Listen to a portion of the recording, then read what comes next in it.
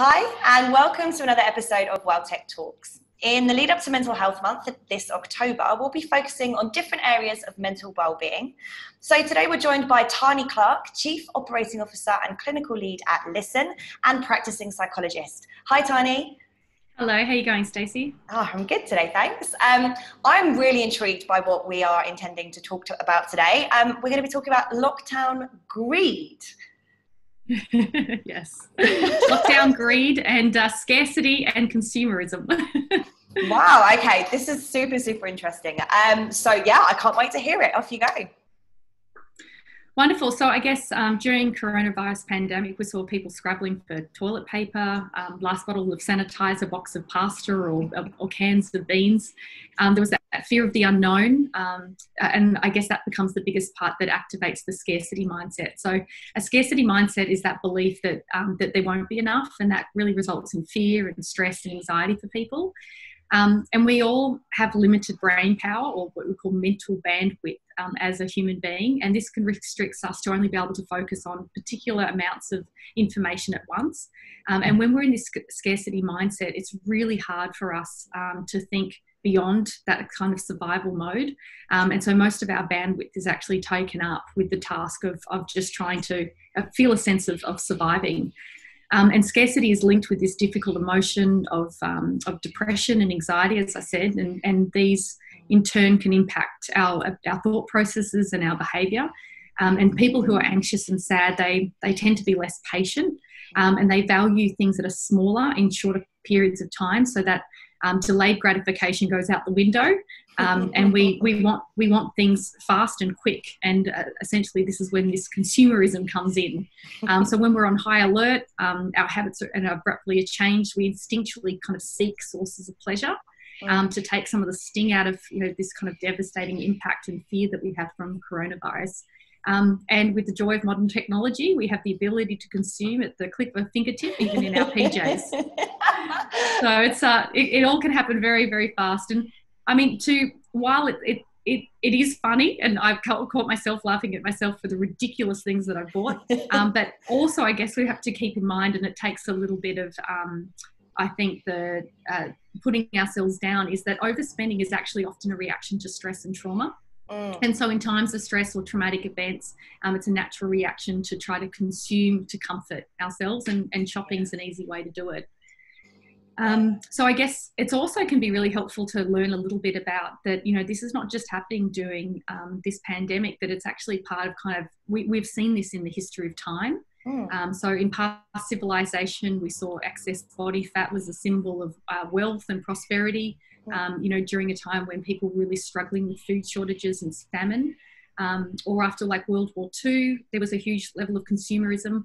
Um, we found that um, people were spending more, they were consuming more, couples were marrying faster, we were having children at unprecedented rates.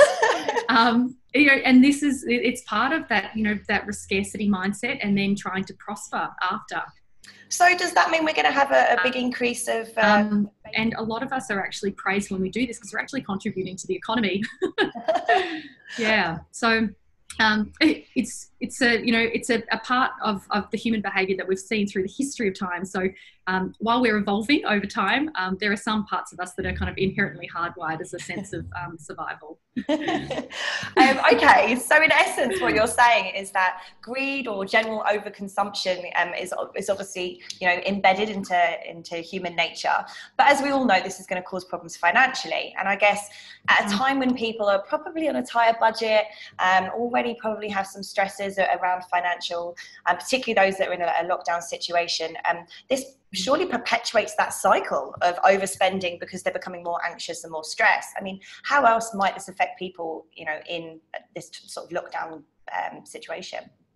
Yeah, absolutely. As you were saying, it becomes this really vicious cycle. Is that um, you know, it's uh, what, what is it off the Austin Powers? I eat because I'm fat and fat. so like it just goes around in circles, kind of thing.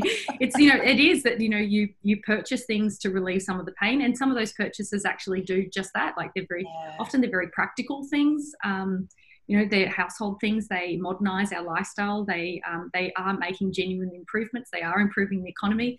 Um, but then there there is also what seeps in is this real sense of grief um, oh. and loss in the fact that we've now spent in a time when we have no real assurity or stability around our income. Um, who knows what's around the corner? So um, it does create this quite a vicious, a vicious cycle for us. Yeah. But there so, are some things that we can do. Yeah, I was going to ask you. I was like, oh, sounds a bit like doom and green. Please tell me there's some coping mechanisms uh, that we can, you know, help people look towards. Yeah, absolutely. And I guess a lot of it is around like this is nervous energy that's created. Um, so when we are in that fight, flight, freeze, or faint state, there's um, a huge amount of adrenaline that's released into our body, and so there's a lot of energy that needs to be discharged. Um, and so distraction and redirection are really the key. Um, okay. And so part of that is um, you know, when you want to shop online, you know, get up and do some star jumps instead, do some squats, um, you know, invest in the wealth of your, your body and your health and, and instead. Um, and often, if it is physical in nature, it can really help exert and discharge a lot of that really pent up energy. Um, brings a lot of oxygen to your brain as well, and that can help calm your service, uh, nervous system and help you actually start to think more logically. Mm. Um, and so, a lot of it can be around how can you be aware of the physical sensations in your body that make you when you to be able to name i'm feeling really overwhelmed and i'm about to click the buy button. Um, and instead i'm going to do some star jumps or it might even be um, pre-planned if you can even doing some virtual stuff online. So whether it's yoga classes or pilates classes um, if you are really compulsive um, or you notice that you've got some addictive behaviors that are being triggered um, it may even be um, joining in with like some 12 step programs right. to really help um, but deep stretching exercises, booking in some time to have a chat with a friend um, to help really calm and distract yourself is really key. Oh, some great advice there. Um, so as always, we'll, we'll be posting um, an article um, to accompany this video so that you can always have a place to come back to.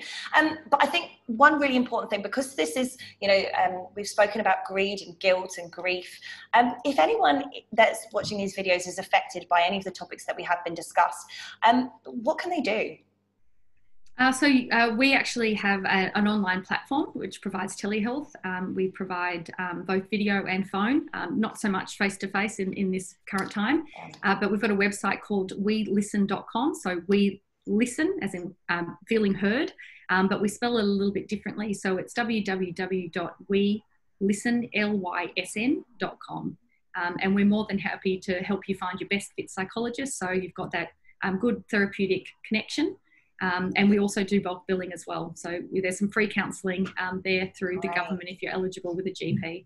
And I believe that you also personality match all of your patients, yes. right? That's yep. incredibly unique. And I think something really important that if you are, you know, struggling with a mental health issue or looking to reach out to someone, if you've got that personal connection, it always just goes that little bit further in, in helping you feel more supported.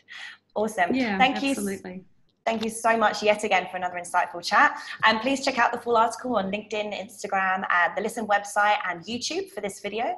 Uh, thanks again for watching, and we'll check you next time for another WellteQ Talks.